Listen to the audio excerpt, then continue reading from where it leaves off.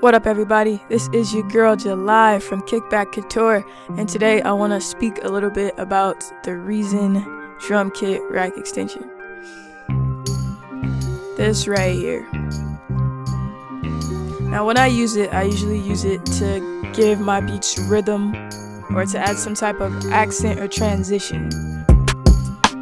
So many times when I'm using it, I use it like you just heard it with the tambourine, crash. Sometimes I use the ride, sometimes I use it for hi hat patterns, and I'll show another beat with that as well. But as I was saying, this beat has a tambourine and some cymbals. So if I were to solo this part right here, so set loop to selection and start playback.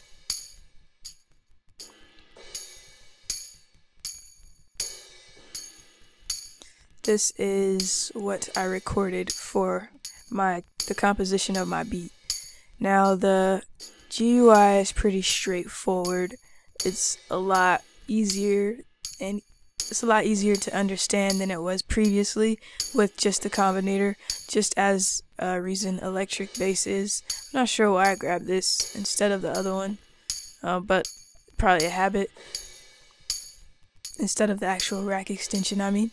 But this is the kick here, and as we move down, we see each different type of drum has its own drum settings down here below. And then these red ones are the different mics, the overhead mic, room mic, and then this is the master effects, which we can add compression, reverb, and then over here in the room we can do the same, as well as distortion, EQ, uh, change the width if we would like to, and then the overhead has the same settings as the room, but they are separate.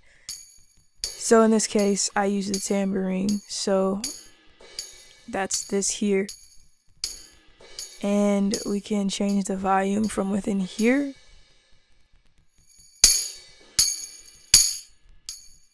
Change the pan level, the reverbs in. We can EQ it if we would like to, just by turning it on.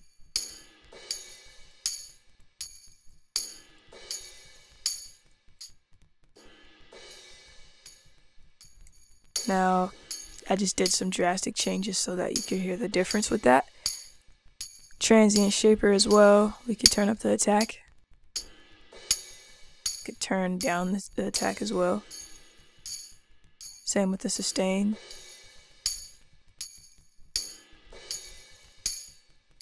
And then we have this distortion drive. And there are two distortion types.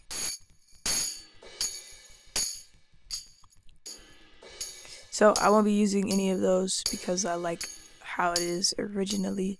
We do have different presets that we could use here and there are also MIDI files that we can use if we would like to.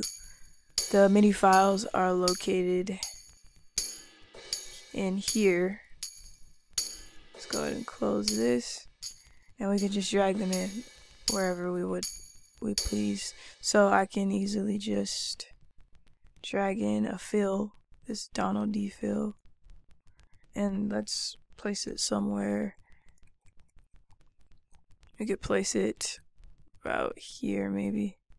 I'm going to change my time snap because that's a bit confusing. And that makes it easier to understand and then I can play my intro and we will hear this fill that came with the rack extension playing.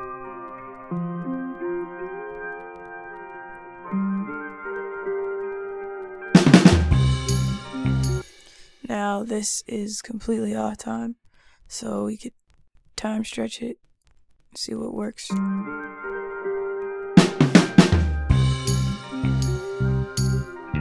That's better. It doesn't fit the feel of the track, but this is just an example of what you could do you can also change the samples. So if I wanted to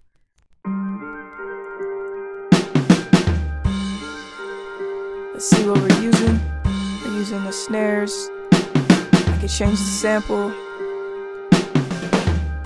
and the mic.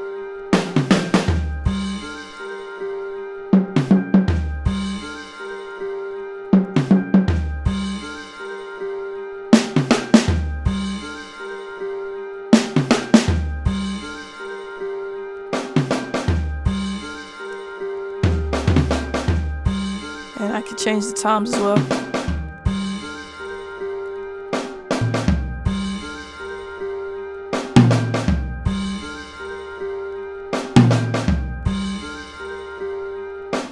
Alright, so you could just about change the sample with uh, anything.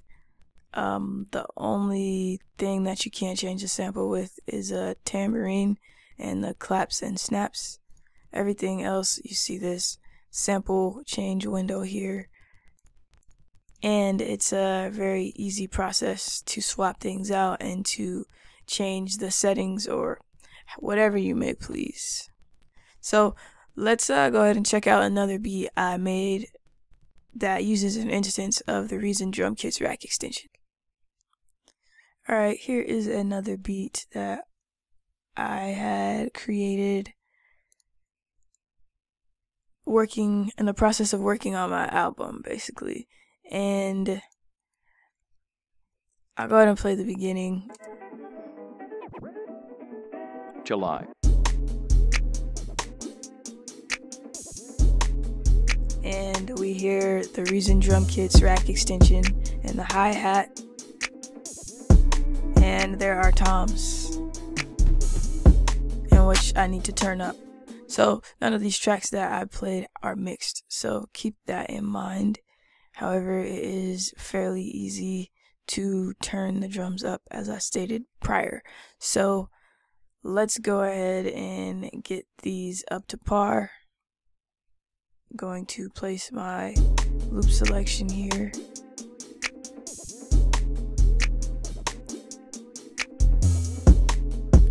The toms are right here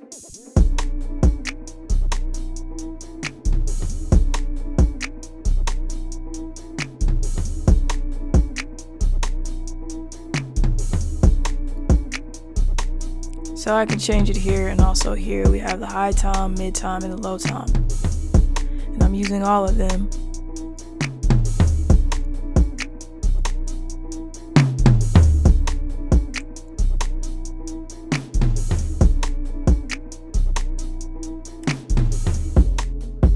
And I'm also using the hi-hat here. And as I said before, I can change it however I please. I can change the sample, pitch, decay, volume, pan. Here we have the leakage from the overhead and the room mics. And we have an EQ, transient shaper, and distortion. Just as we did with the previous modules we looked at, kick, snare, tom, so on. Now there's a master volume knob here. So you don't have to affect everything separately and potentially imbalance your mix by accident or whatever the case may be. So I do want to turn these hi-hats up.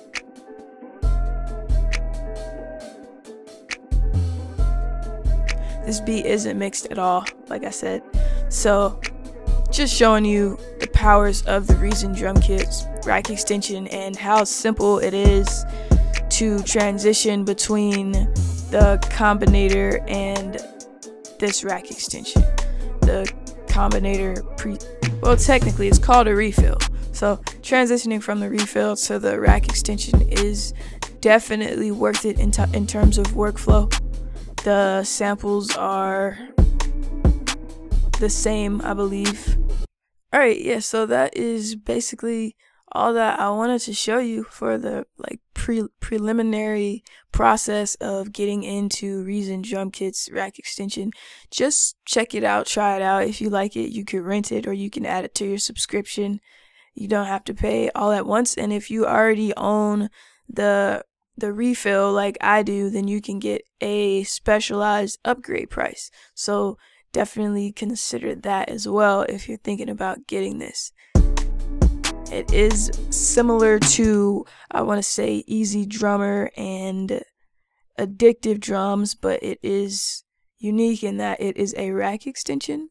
So it's uh completely up to you. I definitely do think it's a good addition to have different drum samples besides what I do have in addictive drums, which is what I own.